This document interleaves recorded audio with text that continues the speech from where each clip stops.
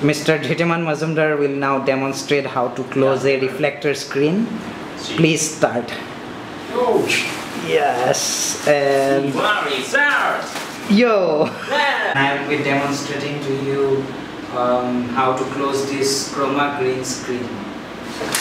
Yeah, you can see that it is totally unfolded and it is a big piece which cannot be folded at one go.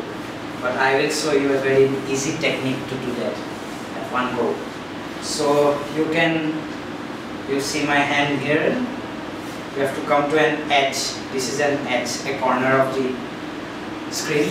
So this you have to hold on both sides and gradually fold it and bring it to the opposite corner. Yeah, like this.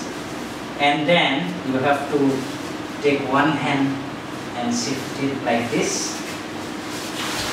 The other hand fold in and bingo. We have Yeah, that's right. Okay, now I click this one. Yeah. Yeah.